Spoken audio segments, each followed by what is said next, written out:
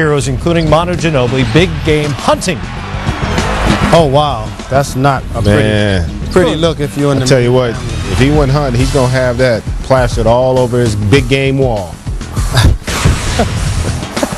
And Desmond Mason, who literally could not miss tonight. And when he's on that left block, especially, he can use his right hand to drive middle or go baseline. He's very athletic, and congratulations to having a tremendous evening. Sure appreciate that. Congratulations. Look at all the W's tonight. A lot of W's. Well, that's what happens. With, well, that doesn't always happen. No, it Sometimes you just doesn't. Put up That's- numbers and you, you wind up with an. That's an excellent point out of you. Peja Stojakovic is back, knocking down everything. The Lakers couldn't stop him. He got a win. Zach Randolph, 17 boards, and Chris Paul, maybe the most impressive number of the night. Chris Paul had 21 dishes for those unbeaten Bugs.